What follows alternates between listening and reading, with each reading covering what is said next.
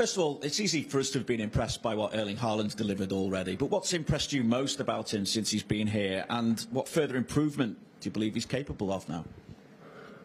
I think uh, we everyone talk a lot, so we are delighted, and hopefully he he feels good, comfortable being here. Is it his work ethic, though, as well, Pep? The fact that he's made this adjustment. I mean, what do you see within him day to day that has made that adjustment to Premier League football relatively straightforward? Certainly from our point of view, anyway, looking at it. I have another opinion about that, so we didn't have doubts, and especially we are just one month or one month of competition, so many games still to come and many years, so so still margin to improve, to, to be better player, and we are working on that. You've now got six games in 18 days as well, and you've spoken of the need over that period to maybe rest Erling Haaland. I just wonder what you're seeing from Alvarez that when it comes to that decision to rest Haaland, it'll be made that little bit easier because of what you're seeing from Alvarez. Yeah, definitely. When when Erling maybe we think doesn't play, he's going to play Julian. Yeah, that's almost mm, almost sure. what are those qualities that you're seeing from Alvarez that, uh, as I say? We are, all of us, we are really impressed for the guy, for the pace, for the sense of goal, for the, the work ethic, yeah, for many things. You spoke again about Bernardo Silva after the weekend, seeing the importance that he has within this squad. Um, are you now at the stage where he, along with no one else, you can say will be leaving before that transfer deadline, and in turn, what the likelihood is that you could further add to your squad before that deadline as well? With Bernardo, it's everything I've said many times, so how important it is for us, and just one or two days, finally, the transfer window will be over and everyone will be focused what you have to do. Can you categorically say no more business for yourselves? No, I don't know. I don't know what's going to happen. Just finally for me, Pep, obviously, when you look at the defensive record at the minute, I just wonder what concerns you have over the fact that you've trailed by two goals in four of your last six league meetings now, going back to last season, of course. Yes, yeah, yes, we had to try to avoid it. Uh, in one term, it's good because in the past, in the last years, always when we were down, we were difficult to come back. Now we had. Uh, we proved last season, this season we can do it, but we have to try to avoid it as much as possible to go in vantage and try to handle or manage this situation. The positive is you've lost none of those four where you have trailed by two goals. Yeah, but it's risk. So one day we'll not be able to come back. Hi, Pep. It's seven years ago to the day since Kevin De Bruyne signed for Manchester City. There were some people who didn't think he would be a success here. But have you been surprised, even yourself, at just how much of a success he's been and how much he is important to this club? Well, it was a, a really good sign for Man City. So seven years is many, many years. Has done brilliantly. So since then, before I came here, I knew it from, from Germany. I saw for him when I was in Bayern. He was in Wolfsburg, and many games I saw for him. And the light that uh, how he has performed in uh, this time. Uh, Nottingham Forest have signed 18 players, spending about 150 million pounds.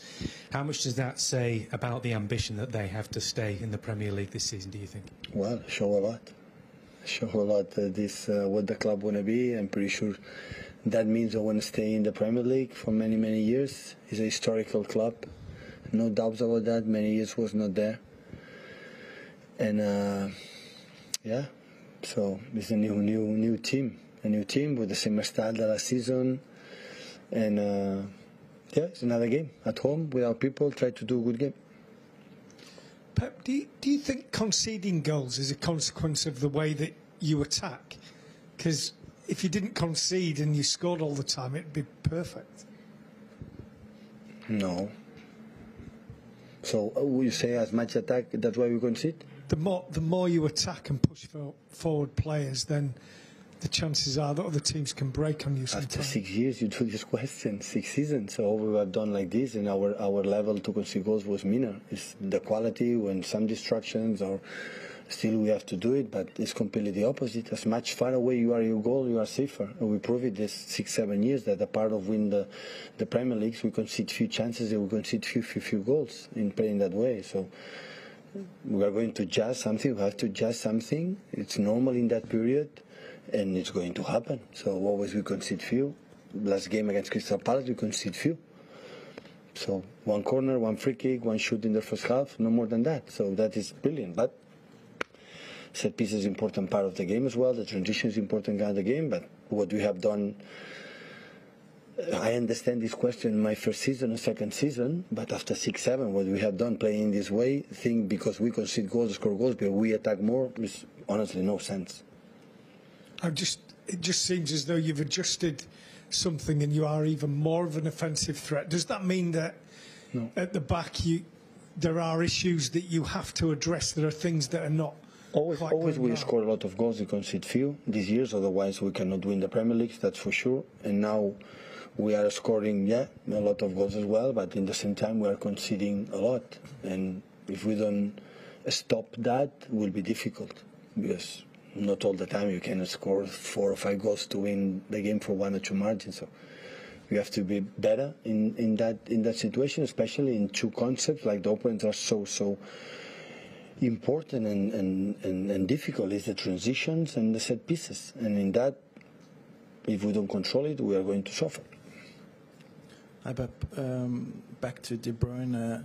Seven years ago to this day, he signed for the club. Uh, but li- uh, likes of Phil Thompson and Paul Merson said that the world is going mad with the transfer fee and it was bonkers. What do you say about that now when you've seen him in City? Everything is open to, to talk and to say his opinion. I have to, to accept it. In the good things we are good, in the bad things we are bad, and the people maybe didn't know him, and and that's why the haters, you know, they are open to, to do it. So important is uh, he was calm, he's calm, will be calm. To do a job on the pitch is the most important thing. You saw him in Bayern. And you, of course, have had a lot of use of, use of him here in City. Uh, can you tell us exactly uh, what makes him so extremely important, uh, besides the numbers, of course, that we see? I think you we should join the TV. You see how he plays, define Kevin perfectly for himself the way he plays, not necessarily to talk to talk about his his incredible talent, his work ethic, and his commitment with the club, with the mates, with everyone. He's a vice captain already, so there's no doubt about that. So th- this type of players, they are too good. You have to watch it, what they do, not necessarily words. Just how is Kevin? Watch the games, and you will discover him. And I think a lot of people is wondering if Erling is going to play tomorrow, or when when are you going to rest him, uh, considering the, the match program in the future? Tomorrow you will see you will see it. Okay. Last question for me. Uh, we saw Gündogan uh, came in from the bench last uh, match, had a great impact. Um, uh, what can you say about him and the relations with, with Erling and, and De Bruyne with Erling? Another player, many years together, so the impact in uh, in the team is always positive. Is uh, especially this season, I had the feeling he started really, really, really well. Uh, last game, I didn't agree. to Have some niggles in his leg before the game against Crystal Palace. I didn't want to take risks for the amount of games that we have. He could have played, but I didn't want to take risks. Have been so important so far, not just in terms of goals and assists and many, many things. So, Gundo have been like Kevin, like uh, Bernardo, like many, many players, so important.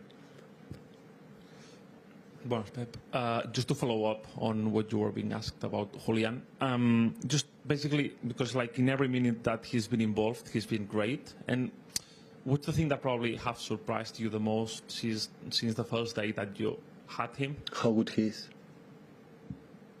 I know him a little bit on TV, clips, games in River Plate. Surprised how good he is.